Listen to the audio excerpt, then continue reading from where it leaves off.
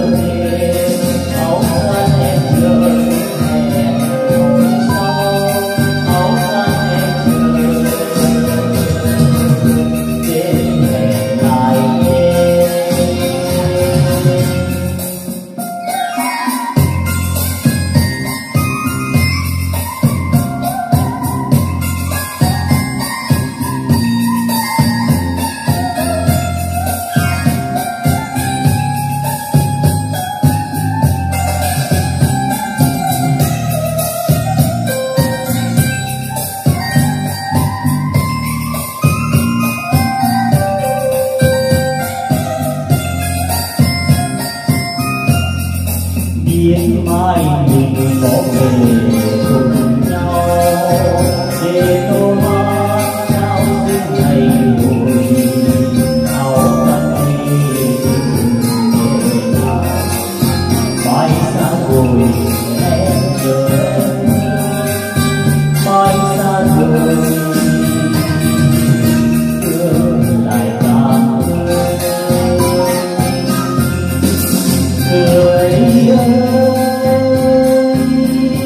nhớ.